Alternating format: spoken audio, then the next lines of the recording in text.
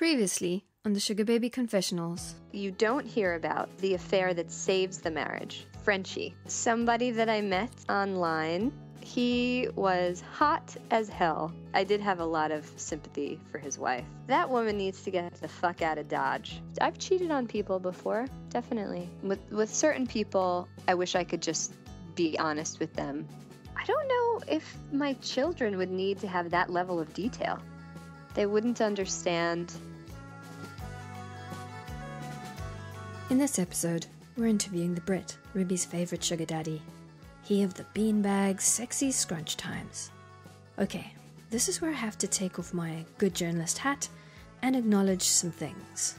Namely, I'm not sure I was entirely fair or unbiased towards the Brit. I love Ruby, but I also love FP. I've known him for years and we have a shared history. So, with the best will in the world, it was very difficult for me to maintain a neutral attitude in the following interview. Having said that, it was enormously game of the Brit to even talk to me about all of this. For that, he gets the Brass Balls Award. It's a very big award that unfortunately only exists in my head. Without his cooperation, I would never have been able to get an insight into a true sugar daddy's mind. So I apologize to him in advance if I sometimes can't help but sound a wee bit partisan. As you'll hear though, he's a pretty cool customer, so I doubt he'll mind. Here we go. We've been referring to you as the Brits all along, and it's nice to kind of put a voice to this nebulous entity. I've been called worse than that, but nebulous entity doesn't sound terribly flattering. well, um, yeah. Now, now there's a person. You're a person-shaped entity, so that's good. I'm just going to ask you a few highly personal, intrusive questions. What made you you sign up to being a sugar daddy in the first place? Why not just go do online dating? Uh, well, uh, I didn't want to particularly do a sugar daddy thing. That wasn't my original plan.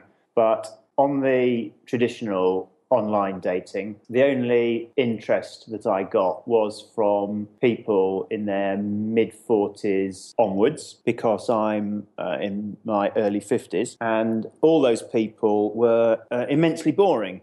Uh, what now? Or mostly came into the category of. Okay, dude. Choose your words carefully uh, mothers. Ew, mothers. They're the worst. Divorced with uh, two or three children, uh, rather mumsy people, not interested in anything particularly exciting in life. And uh, I just didn't uh, meet anybody that interested me or got me excited. Yikes. Not a great start. Writing of a whole age group of women as mumsy and boring? I mean, but I have to strive for neutrality. This is about me learning more about his motivations, not pointing out hypocrisy. But it is sort of aggravating to hear a wealthy man basically stating that for him, women have a sell by date. I know, shocker. On top of that, Ruby is a mum. Is this something the Brit has forgotten? Or is she more appealing simply because she happens to be 20 years younger than him? no judgment. Friend of mine I was talking to said to me, Well, why don't you try a sugar daddy site? And I said to him, Don't be so ridiculous. Why would I do that? And he said, Well, you're more likely to find somebody younger that you like that way. So I did. Hold up. Hold the phone. More likely to find someone that you like? I think he's trying to be delicate here. But seriously, why not meet someone at a bar or have a friend set him up? Is there something about the transactional nature of the sugar baby arrangement that appealed, or is he tacitly acknowledging that he was having trouble attracting much younger women? His unmumsy demo. So, yeah, I came up with Ruby very quickly inside the first week of being on the site. Okay, so you didn't go on any other sugar baby dates? No, well, I did, yes, I, but unsuccessful. Um, I met a couple of youngsters, uh, but I wasn't really interested in somebody that was, you know, under 20. So uh, that that just felt really a bit strange meeting people who were young enough, to, were younger than some of my nieces. Ah, that's good. His target demo has a lower limit. Yeah, I, I met Ruby, and that kind of worked much better than I thought it would. Can you sort of describe the first time you guys met? Yeah, we uh, agreed to meet at a little shopping area near me that's got some cafes and bars and a couple of uh, restaurants, shops, a nice little informal. Ruby was in town anyway for something else, so it suited her too. Well, it's hard to make a friend in the city. It's hard for everyone here, it seems. When the day goes in a click, your intentions fade with it. So hard to make the city your friend. I was there first and I had a cup of coffee and I was waiting and she appeared from over the other side of the courtyard. And at first I wasn't certain it was her. Well, you can imagine you don't want to uh, acknowledge somebody in case it's not them. But it was fairly obvious pretty quickly that it was her, and I was pleasantly surprised because I'd only seen one picture, I think, on the site or a couple, and very often people's pictures are, let's say, flattering, and she was as good looking as her pictures on the site, so that was nice. I was nervous the first time I'd done anything like that, and I think she was a little nervous as well. But we settled down into a very simple conversation very quickly, and it all seemed very uh, comfortable and natural. What was it about her profile, if the, if she didn't have loads of pictures, that struck you? Yeah, this could sound terrible, but you know, I put in a set of criteria, and only a very small number of people came out. You know, if I'd been on there for longer, there might have been more. I think I only sent messages to two or three people on the site in total. And I had then met Ruby before I had any contact. No, I think I saw one other person before. So I was just attracted to the picture. And, and I can't remember exactly what she'd written on the site, but it just sounded friendly. And she had a friendly face and I thought that one looks like it might be okay. It should be a safe first meeting ask if there was any awkwardness when it came to talking about payment. At the first meeting, we just agreed that we liked each other and that we would talk about the payment, etc., uh, later by email, which is what we then did. So there was no awkwardness around that, and the meeting was uh, was fine. And I am scared. I have lost what was The main thing that people find probably tricky about this is is the idea of payment. I mean, did that stick in your craw a bit, the idea of payment, or you you just sort of resigned to it because that's what the process is? I was very uncomfortable about it. It didn't feel right to me in lots of ways, but I'm in that phase of my life where everything that seemed right before turned out maybe not to be, and the you know the second half of my life I want to be different. So run a by, stroke my face, and we will be redeemed. So I just said, well, look, you know, I'll do it, see how it goes. Having met the person, it didn't really feel uncomfortable or, or dirty or in any way, mm. you know, in the gutter. So I thought, well, I'll go with it and see how things progress. And if, if I get uncomfortable with it, then I can stop at any time. But no, I, I was uncomfortable about it. It's not what I wanted to do when I started the process. When you say you wanted to, do, you wanted to do the second half of your life differently, what was it in sort of broad strokes about your the first half that you you weren't satisfied with? Well, it wasn't that I wasn't satisfied with it. I had a great first half of my life. I was involved in a, the business world, very successful, got to the top of a very large corporation. Hmm. The kind of thing that lots of people would say was, um, you know, hugely successful, uh, except that it ran my life.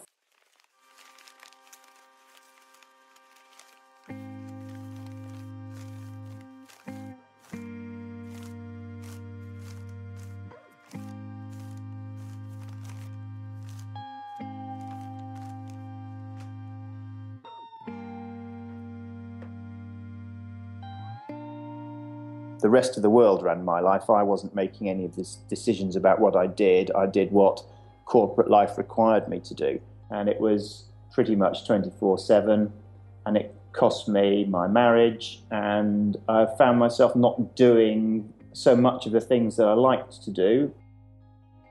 Further up the organisation, I got the more political and corporate it became, and less to do with the trading of the early days, which I loved.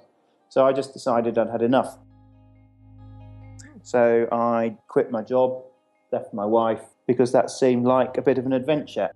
Right. So, what kind of things? What what, what sort of adventures are you are you going on at the moment? What kind of things do you like to do? I do long distance cycling and uh, hiking and uh, mountaineering mostly. I wouldn't cross anything off the list if it's a proper adventure.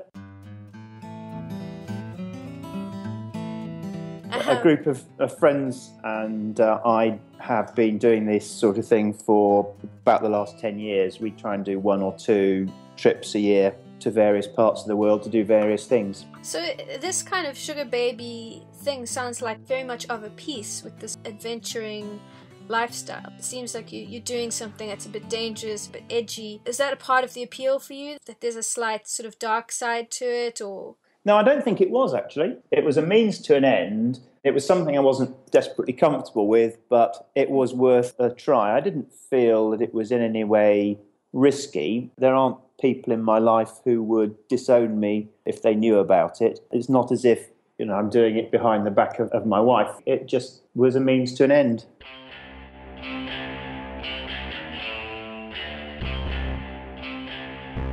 So, what were your hesitations then? I suppose it was just that I've been brought up uh, to think that it seems a bit like prostitution. You know, it's sex for money. In my world, as it was, that's just something that's wrong. It seems exploitative I was uncomfortable with that element of it as well, which is why when I met Ruby and found that she was married and that her husband knew and that she was doing it because it was an adventure for her rather than it was just for financial gain, that made me very comfortable and able to carry on with a degree of impunity would you have gone ahead with it if if circumstances had been different? If she had been perhaps doing it behind her husband's back, or no, I wouldn't. No. Did you have any expectations for a sugar baby person that you wouldn't have had for a normal date? Were you sort of like, well, I'm paying for this, so you know, here's my list of uh, of demands? No, I didn't have a list of demands. I was trying. I just wanted to, to to meet somebody that I would like and get on with and have fun with. I decided from my failure elsewhere that that was probably an age-related thing, and that by going down the sugar daddy route, that would be less of an issue, and I might meet somebody that I liked and could get on with. I thought I would probably have to meet quite a few people before I found somebody that I liked on this route because I felt that people doing it probably would be of a type which I now understand is probably wrong. I would have thought that she is actually quite unusual in her circumstances.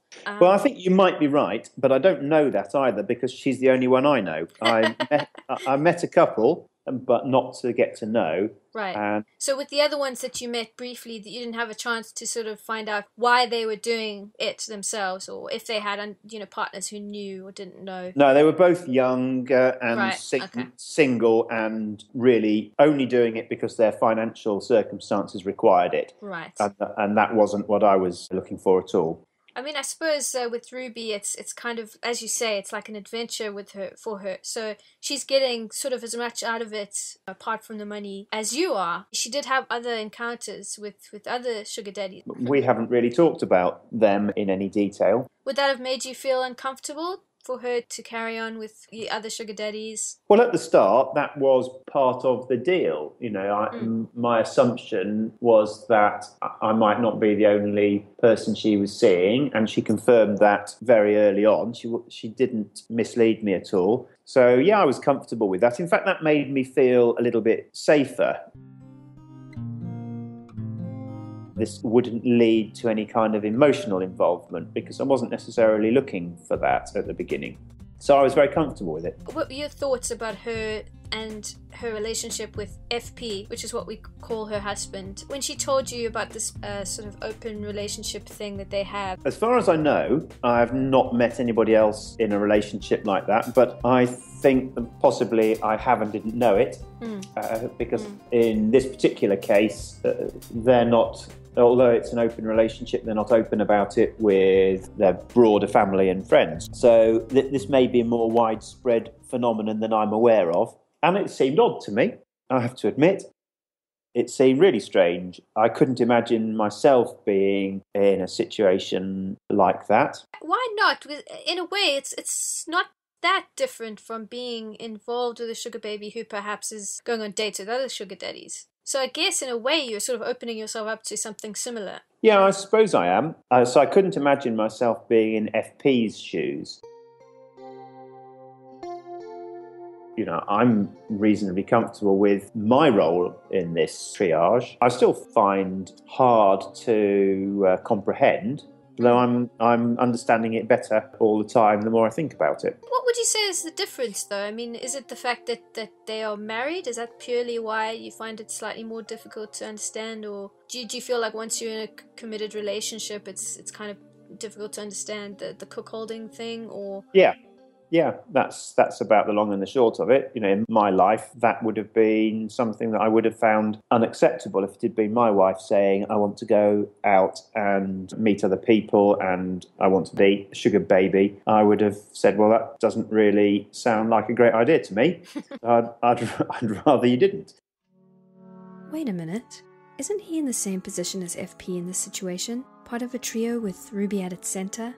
Ergo, he is a part of that sort of relationship. But he's talking about it like if it was a quote, real relationship, such as the one he had with his wife, he'd be totally against it. Has he changed? Or is Ruby more invested than he is?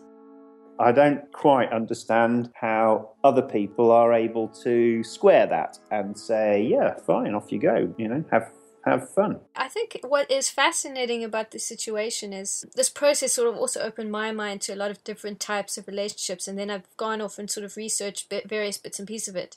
And I feel like my brain has been cracked open slightly. Yeah. and all of a sudden, you're just looking around everywhere and thinking, uh, you know, does this person have an open relationship? Is that person? In, It would be much easier if they all had to wear a bright yellow hat or something like that, so everyone else knew, wouldn't it? That would be really helpful. A scarlet S for Sugar Baby. I'm gathering from what everyone has been saying that it's still a learning process. And although FP, he enjoyed the process of Ruby going off and having affairs and then coming back and telling him about it. That was part of his sort of kink. Now that there is our emotions involved, it's slightly more complicated. Yeah, Um, I think that's right. Mm. I mean, how how do you feel about that? The fact that he there's another person that you you're kind of your actions are sort of impacting on positively or negatively. yeah, I'm actually reasonably uncomfortable about that, and I've talked to Ruby about that a few times. You know, I. I don't want what I do to have a bad impact on anybody. Mm. You know, at the beginning of this, this was around, you know, I'd moved out to another country. I didn't know that many people. I wanted some female company, and uh, but I didn't want another relationship. I wasn't in a rush to to, to get married again. You know, that, that Mm. married for a very long time. I just wanted something relatively easy that didn't harm anybody, Mm. and uh, that's how it started. And now it's developed into something where I realise that I am a fly in the ointment of their life which I am a little bit uncomfortable with, but on the basis that it could be stopped at any time. And I think this is very much an issue for them to resolve rather than an issue that I have created. This is something that's happened in Ruby's world. And if it wasn't me, it may well have been somebody else. And, and I haven't searched out this current situation, and I don't think I've done anything to create it. Then I'm happy to let it run its course and if it reaches the point where it no longer is acceptable to them, then it'll have to end, which I'd be sad about. You know, I'm not sure I believe him. I wouldn't want to try and continue it if it were causing distress. It must be so odd for you to think of her having a whole separate life with kids and uh, family members who can't obviously hear about this side of her life, can't accept it, that you're not a part of. Not really. Oh, okay. Uh, it was what I was looking for at the beginning. Know, I, I, didn't want to be fully involved in somebody's life. I mean, quite enjoying being a single person again, and but I didn't want my life to be uh, devoid of female company. I like being with uh, with women. I like their sense of humour. I enjoy their company, and so I wanted some of that in my life without necessarily the whole thing.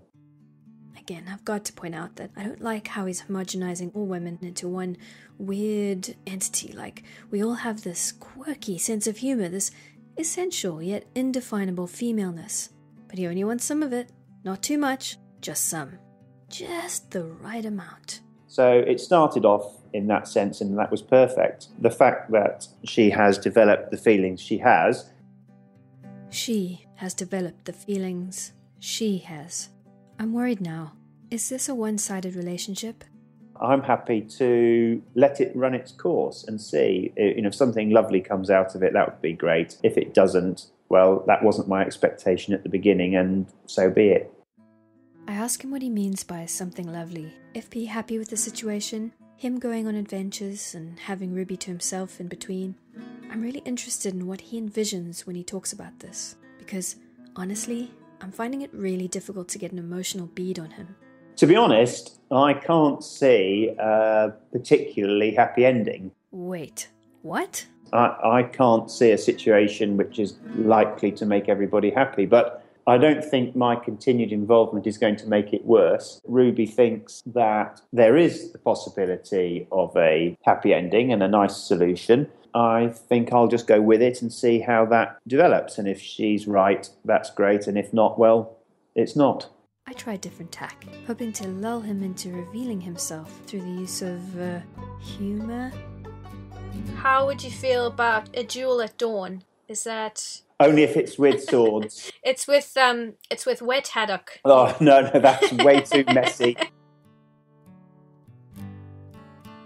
but being serious, I, I, wouldn't want it to come to any kind of duel. I think if it's a case of Ruby having to make a choice, then she should choose him and her children uh, first. I guess this is the Brit being a gentleman and bowing out. But how could he possibly know if their marriage ending was an inevitability? And if there's no way of knowing, then by his own argument, shouldn't he bow out before anything like that could happen?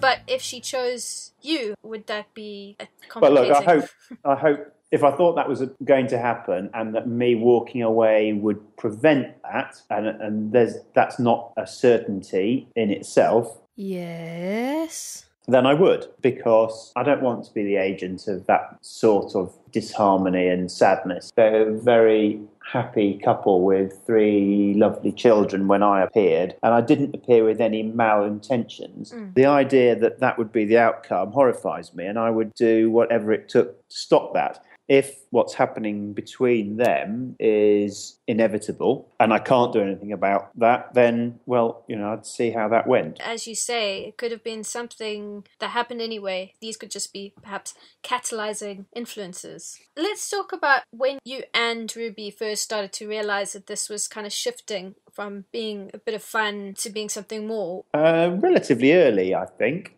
after a month or so, six weeks, something like that. What happened? Two things, I suppose. One, her behaviour towards me and the way she looked at me were more than just the behaviour and looks of somebody who quite likes you, but it's no more than that. Was there not a part of you that was like, well, geez, she's good. I mean, she's putting the effort in for the money, you know? Did I sign up for premium service? I don't know. I never really thought about it as value for money.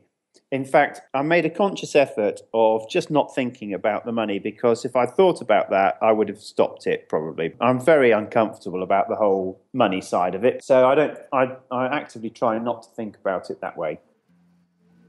It's odd he's being so coy about the money. Here's a person who made a choice to, essentially, pay for sex. There are no ifs, ands, or buts about it. He went on a site that catered to sugar daddies, signed up, and picked someone he liked. It's not like the money is something Ruby snuck up on him. I guess it's just that I find it a little disingenuous to be talking about feeling uncomfortable this far down the line. I liked her a lot. Quite early on, it became apparent that there was a little bit more to this than just a physical relationship. We clearly got on really well and liked each other's company and laughed a lot and, and all those things that happen between people when they um, start to fall in love did that worry you at all? Like, yeah. was there a moment where you were like, "Damn, you know, I actually just wanted a bit of fun, and this is kind of deepening a bit"? And yeah, uh, yeah, it did. Very early on, when I realised that was what was happening, I did think very seriously about stopping it because that wasn't what I'd signed up for. That wasn't what I was looking for. But the annoying thing about it was that I had similar feelings for her. Yes, it's so annoying when that happens.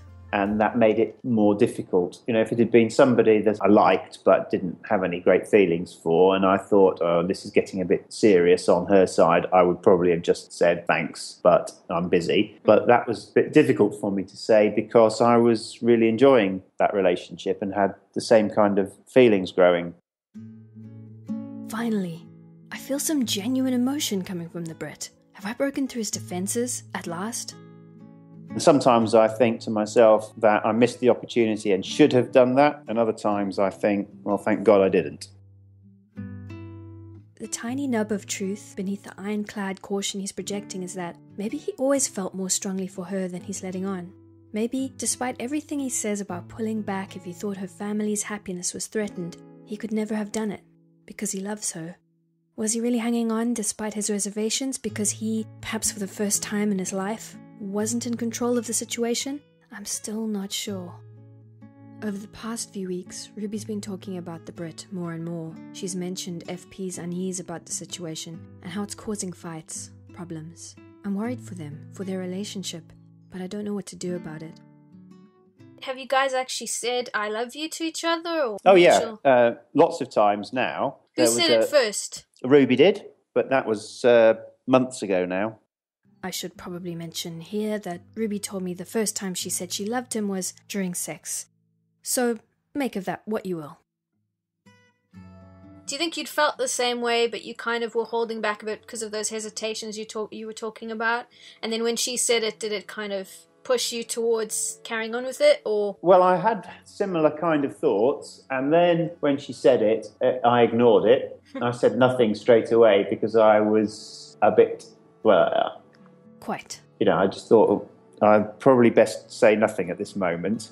Yeah that probably was a, a good idea. Ruby told me that she'd told her husband that uh, she loved me which was a which shocked me actually. And I think it wasn't that she decided it was a good thing to tell him. I think that he worked out from things that she was saying and asked her, and she said yes.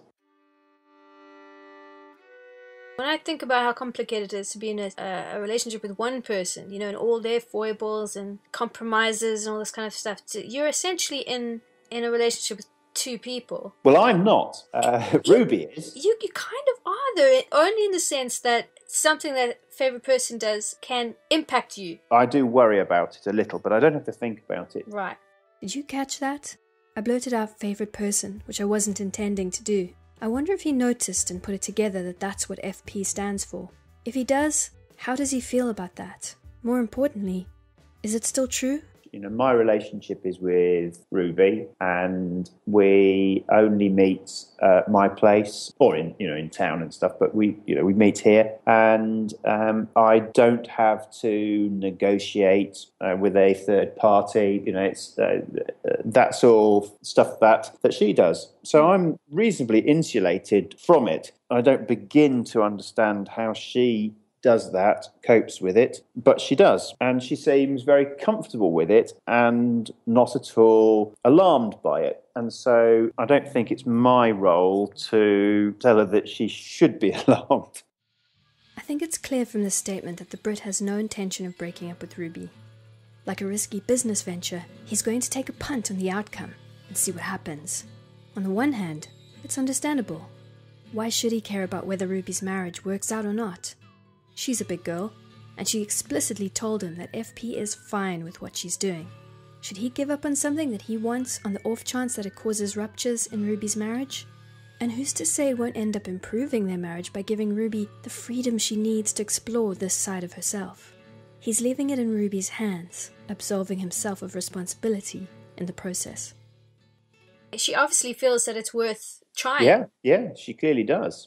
It is tough. I don't know whether it's a wonderful thing or a terrible thing. I, I think know, only time is going to tell. I must say though that I I've always admired and I still admire like how open she is and honest she is with with how she feels and how willing she is to try things. That's definitely not a trait that is common. I think you know. I, I mean, I'm such a blimmin' scaredy cat. I, I wouldn't. I tell her that I have to live vicariously through her. I think she is quite rare. I don't think there are many like that. No, no, I don't think so. The sort of smuttiness or whatever it is that you associate with the idea of sugar baby or the exploitation thing doesn't seem to apply to her. No, there's there's no smuttiness about it. I, I don't feel that at all, and and I've I'm I just feel very lucky about that because I went into this uh, looking for something, but with relatively low expectations of finding it, and I've ended up finding something which is possibly way better than anything I could have expected, possibly way worse. uh, who, who knows? But at the moment, probably way better than I could ever have imagined.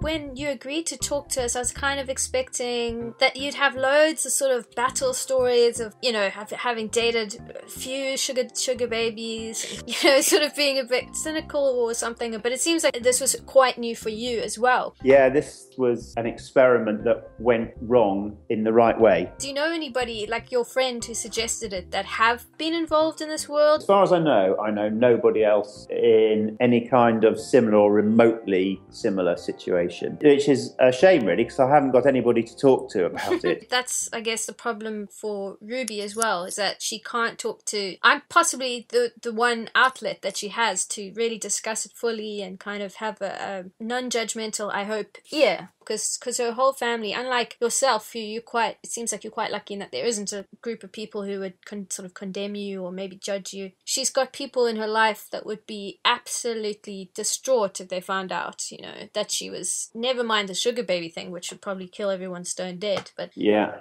Uh, you know, just just the idea of the open relationship, people would find it very difficult to understand. Religious family members and things like that. So Yeah. maybe you're you're the more evolved ones. This Yeah, who be how- knows? this could be how everybody's living. You know, is a, a a thing called the Savage Lovecast. Where it's this guy called Dan Savage in America, and he, he, he sort of gives sex advice. And if you listen to that podcast, you, you start realizing that there are so many different ways of having relationships, so many different sexual kinks. I wonder how I didn't get my eyes open a little earlier in life, but you know, so At the ripe, it, the ripe age of. I'm only ther- going to therapy twice a week now. I'm glad getting you better. you weren't like wearing a lounge lizard outfit, you know, with gold chains. Yeah, w- whatever uh, sugar daddies are supposed to I, look like. exactly. Yeah. I, I don't I- even know what that is. I don't think I'm a typical one. I don't know. Yeah, what we need to do is find some really hardened, cynical guy that we can hold up as a because you're you're far too nice. This is you know Sorry. how are we going to teach Yeah, the. I'll, uh, I'll work on it. Work What's the moral lesson here? What are we going to take away at the end? I mean, what do you think about that? The idea of morality and love. How does it, you know, does it come into it at all? Well, certainly my ideas are changed because I think, uh, you know, a year ago, if a member of my family had told me that they were in the same situation then as I am now and had explained what had happened, I'd have thought that was really weird and I probably would have been a bit judgmental about it. And equally, if on day one of this I'd known how it would evolve, I would probably have said, no, thank you, that's not for me. And it's evolved at a rate that I have been capable of learning and adjusting to. I think if it had been any faster, I wouldn't have done. It's all seemed very fast to me. And suddenly I look back on it and things I now understand and think, okay, well, that's a, that's acceptable. I get that. Only fairly recently, I would have said, "Oh no, that's wrong." That's not right. Mm. So yeah, I'm learning and going through th- that process at the moment too, and uh, and quite enjoying it. Well, more than quite enjoying it. I was gonna say, I mean, it would be a very strange thing to do if you weren't if you weren't having a bit of fun. Ruby's been dying to join us, so finally I let her. So how did it go? It's shocking. I couldn't crack him. You are gonna have to come up with a hardball question that's gonna reduce him to tears. Ay, Dios mío, Sarah. Well, how about this? I'll tell you what I think the essence of him is. Yes, is. that's good that? good start. The first thing that comes to my mind is loved ones, particularly his family, but certain very close friends. I think the Brit. What am, what am I calling you? The wise ones was suggested, but I, I downplayed that. well, I thought it was Wet Haddock fighter. Oh yeah, Yeah. yeah. Something to do wet haddock. Um, Whose phone is that ringing in the background? yours. Is that uh, is that a captain of industry calling you? Unlikely. Will will billions be falling just because you you're saying no to this phone call? It could be that. A company somewhere f- is Yeah. like loses all its stocks value. Yeah, I think you should go and sell all your gold reserves. Buy coconut oil. Ruby elaborates on the Brit's essence. I find the Brit wonderfully connected. Someone who I've got two telephones. I'm really well connected. someone who really understands other people and does what he needs to do in order to make other people feel comfortable and taken care of and happy. So do you think those qualities made him eminently suitable as a sugar daddy? He's got the right skills to be someone As a sugar daddy, no, no, no, no, no. No, those skills made him too wonderful. That's not what, no, I, I have to be honest with you. I don't actually think the Brit is a very good sugar daddy. That's not the word that I would. I know that that's what he is. That's how we met each other. That's how this happened. But interestingly enough, that is not in any way how I think about him. In fact, whenever that aspect of our relationship is brought up, like I always go like, oh, like oh right. why do you say he's not a good sugar daddy? what would be the perfect sugar daddy for me is someone that I enjoy spending time with, but maybe don't like that much. You know, like like someone that I'm happy to see like you know, maybe twice a month and just wants to give me lots of money. Interestingly enough, I just read an article that favorite person sent to me. Now she said it. Favorite person. Does it bother the Brit at all? Findoms. Have you ever heard of this, SD? Femdom. No, not fem. Fin. F I N as in financial. Mm-hmm. doms as in dominatrix. So there are women who are in the sex industry and they are findoms. Like quite literally, they do nothing for their clients, I guess you would call them. And all these people do, men, I, I think it's mostly men, I've never heard of a findom client woman. Um, all of the all these men do is just send them money. That's it and they get nothing in return. It is insane. It you know what? I'm going to send you the link so you could read this article. It's fucking crazy. And there's like, they just get off like there's some kind of weird fetish about just giving money. So they, they don't get anything in return. They, it's not like there's some kind of like Skype chatting or, oh, I'll send you like my used panties in the mail.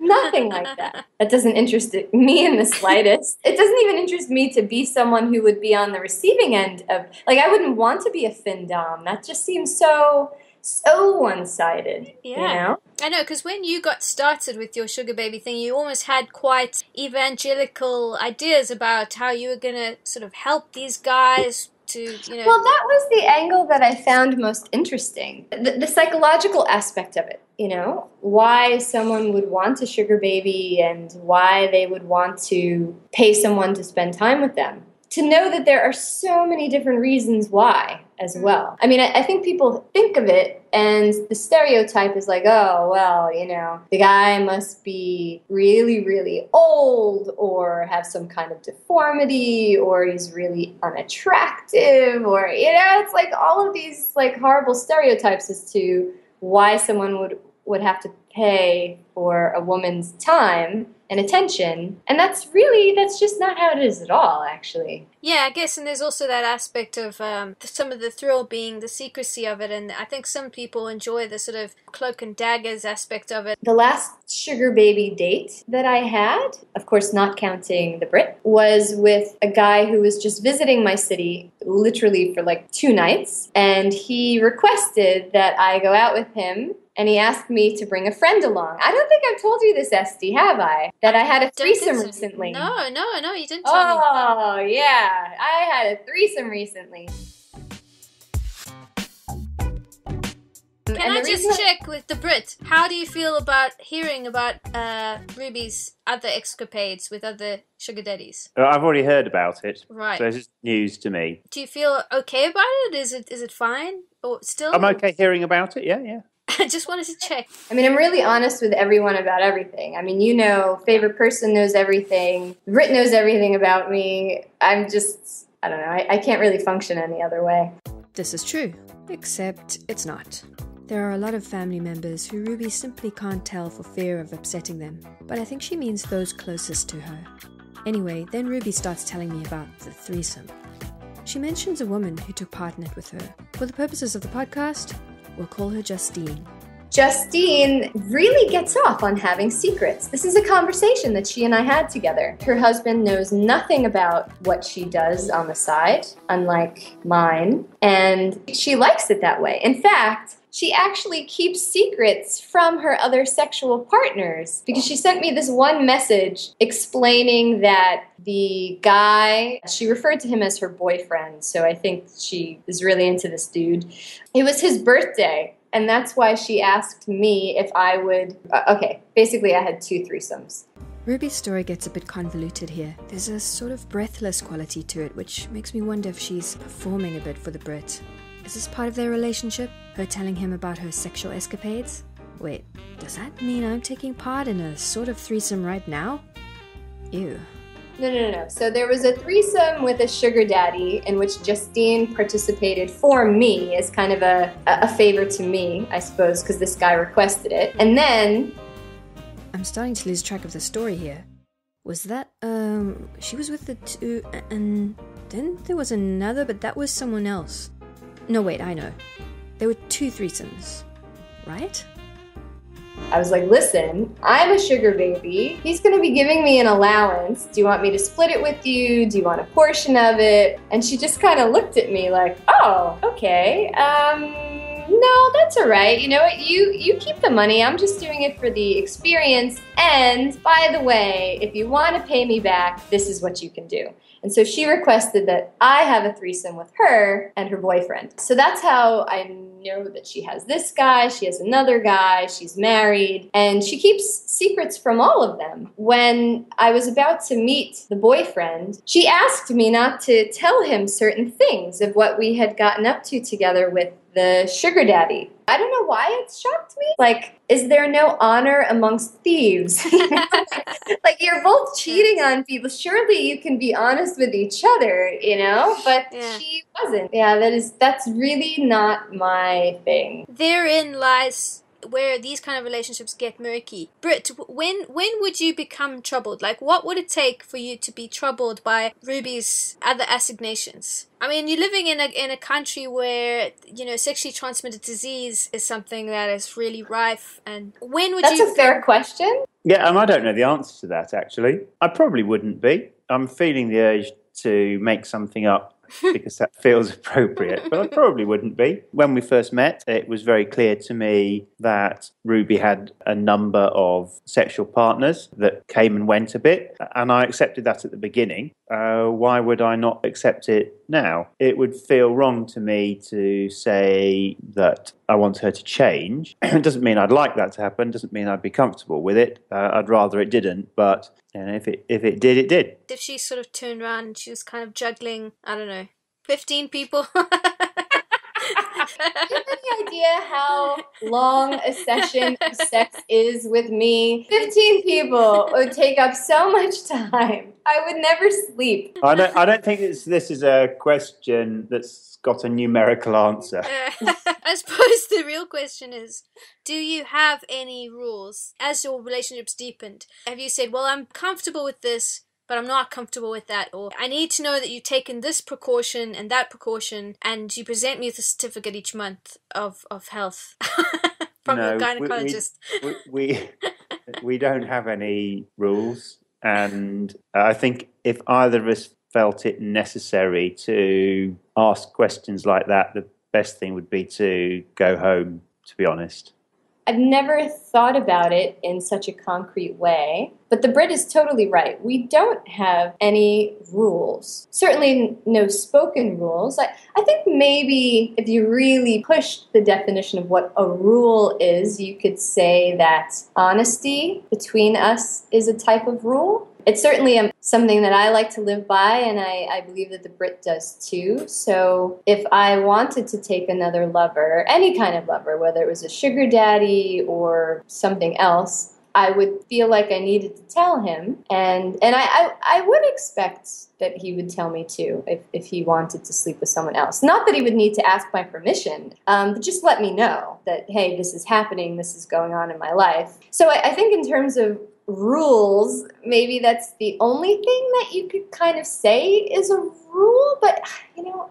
I don't even feel comfortable calling it a rule because it's not as if there's something that, that could be broken. Okay, let me put it this way. There's something worse that could be broken there than a rule, and that is the trust between us. Mm. So I feel like there is a huge amount of trust between us. And I feel like both of us take a lot of care of that trust. There are certain things that I would never do to break that trust. And I, I believe the Brit Like what? well, I would never I would never sleep with someone else and not tell him. I would never lie about anything. I would never say that I'm off doing something when I'm really doing something else. I want to be fully known by this man. That's the thing. And the only way I'm going to be fully known by anybody is if I'm honest about me and my life. It hadn't occurred to me, interestingly enough, until you asked that question, but the fact that there are no rules between us is something that I really love.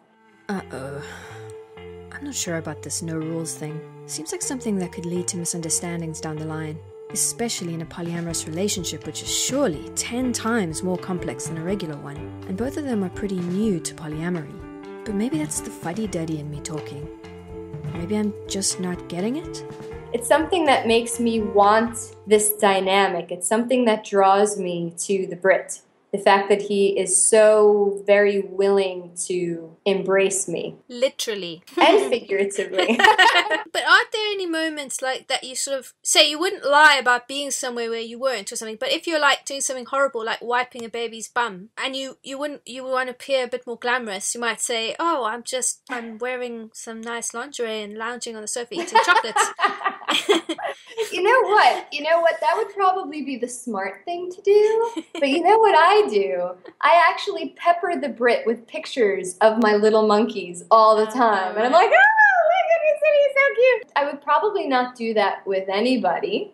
I just I would just omit the unglamorous domestic part of my life with another sugar daddy or lover that I felt wasn't interested in all of me. They only want the uh, the, chocolate eating side of you. We were talking about earlier, Brit and I, how he was he felt he was kind of insulated from the complications of being involved with someone in a polyamorous relationship. Because I was saying, aren't you in a relationship with two other people instead of just the one? And he was saying, well, he feels he's actually insulated from the complications of that because you you're sort of absorbing that. Just to, to teach you some lingo, in polyamorous lingo, I am referred to as the pivot. I'm the one in the middle. So I pivot this way, I pivot that way, and I absorb any kind of love or ire that comes from either direction.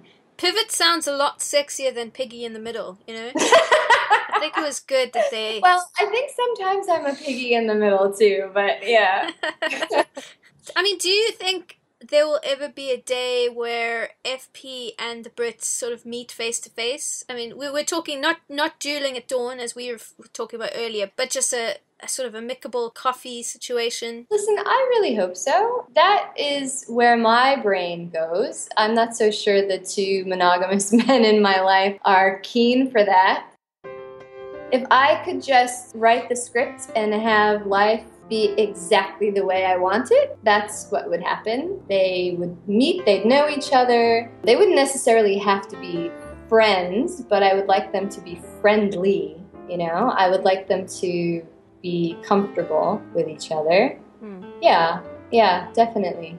And uh, Brit, how do you feel about the sort of the level of love that you're getting from Ruby? Do you ever feel like maybe FP has something more than you? I, I think he gets more than me, and I think that's right. He's the father of Ruby's children, and so he should get the majority of her love and her time, and that's that's fine. I'm comfortable with that. It's how I how I think it it should be. And if I ever got to the stage where I felt differently from that, which I think with the word we're searching for here is jealousy, then that would be a bad thing and not that would be an unhealthy situation and there wouldn't be a way back from there, I don't think. This is the third time the Brit has spoken, albeit obliquely, about the potential end of their relationship. He said he doesn't think it will work out ultimately, that if they had rules, they'd have to walk away. And now this. Of the two of them, he seems to have a much more bleak view of what's happening between them. So you're sort of cautiously optimistic about just carrying on. Ruby is blindingly optimistic. No, I'm not optimistic. Yes, I am. I'm not optimistic. I'm an optimistic person, but in this case, uh, I'm not particularly optimistic. Being honest about things, if you'd asked me a month ago whether I thought we'd be where we are now, I'd have said no. And two months ago, if you'd asked me where we'd be, you know, a month ago, I'd have said no, that wasn't possible. So it keeps developing, and it keeps developing in a way that surprises me.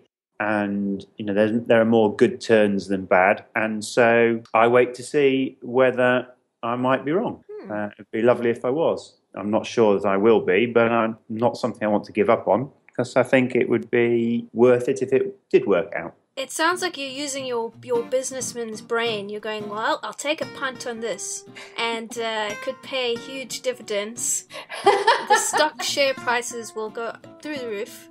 And sorry, I, I, I, I got Ruby caught up in that something metaphor. very similar to me recently about that. she said I was analysing something as if it was a business proposition. I think she might have been talking about her. Um, and and there, there may be some of that in it. And that is how I've spent my life. That is how my brain works. Well, so that was my assessment, and I hope you remember. I think it's actually quite cute when you talk about us in a business like fashion. It's because that's the language that is most comfortable to you. So it makes sense that you'd want to express yourself in that way. I get that.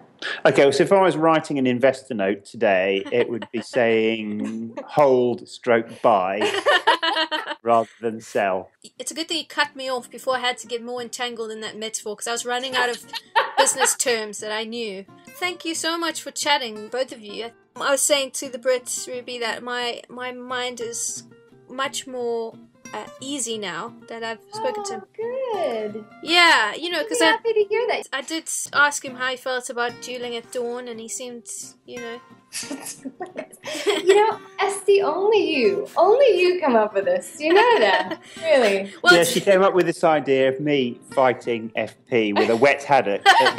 You're nut, lady. You're total nut. Well, it's because I've been gorging on Georgette Heyer novels. Yeah, I mean, hopefully we will meet in the flesh at some point in the future. that would be nice. And that, my friends, was my conversation with the Brit. It was illuminating and worrying in equal measure.